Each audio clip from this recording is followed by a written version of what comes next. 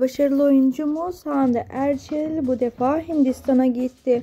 Sevgilisi Hakan Sabancı ile beraber Hindistan tatiline yola çıkan Hande Erçel'den yeni paylaşımlar geldi. Ve e, Hande Erçel Hindistan'da yepyeni fotoğraflarını paylaşmaya devam ediyor. Ve bizler de ondan yeni fotoğraflarla karşınızdayız.